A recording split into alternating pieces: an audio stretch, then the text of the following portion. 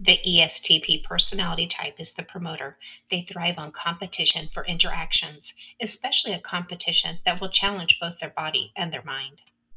They are great experimenters or innovators and enjoy new ideas as long as it contains a substantial amount of activity. This personality type will like leisure activities and hobbies that allow them to pursue a challenge. Try surfing or skating, both ice skating and rollerblades kickboxing, or even something particularly adventurous like skydiving. This personality type should create a wish list of challenging activities and try them all.